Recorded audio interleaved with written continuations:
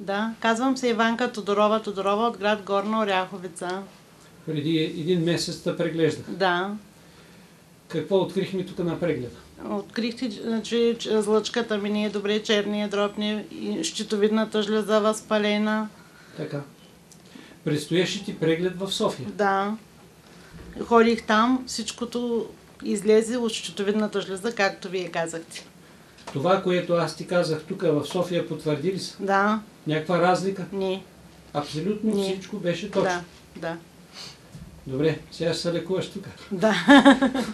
Добре, много ти благодаря. Много съм доволна от билки, каквото ми дадахте, зато и съм пак тук.